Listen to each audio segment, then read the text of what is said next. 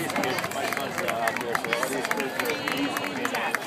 look for the tallest one on the team. That's my son.